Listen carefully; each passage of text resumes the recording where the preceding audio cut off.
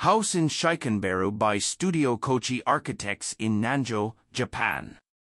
The house is a residence for a couple and their four children, built in a village near the sea in southern Okinawa. Outside the village are fields, and in Okinawa, where there is no snow or frost, vegetables that would be grown in spring or summer in Honshu can be harvested throughout the year. The owner of the house runs a farm here, producing okra, green beans, papaya, and other vegetables. His work is done from before sunrise until around 10 a.m., harvesting and working outside. During the daytime when the sun is strong, he selects what he has harvested in the shaded work area.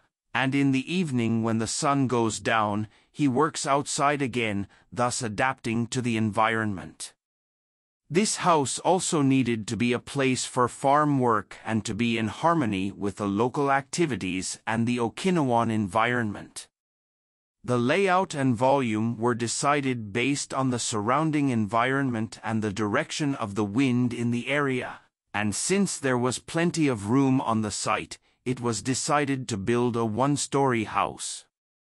The site was originally surrounded by a block wall, but this was removed so that tractors and cultivators could easily enter the site from any direction, and a vacant lot was created around the building to provide a place to store tools necessary for farming and to allow for continuity with indoor work.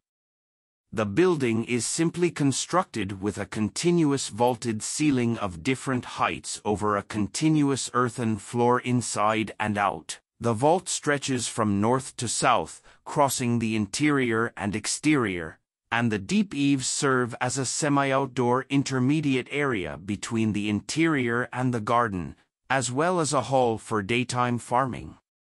The continuous east-west vaulted ceiling gives rhythm to the entire space of the simple plan, and the natural light entering through the gaps between the roof and walls creates a gradation.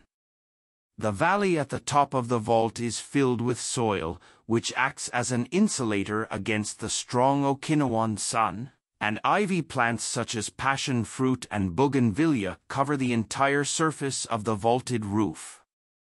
In addition, the owner, who is a farmer, is growing fruits and vegetables according to the different depths of soil in each section and is looking forward to seeing what vegetables will be harvested from the roof this summer, one year after the completion of construction.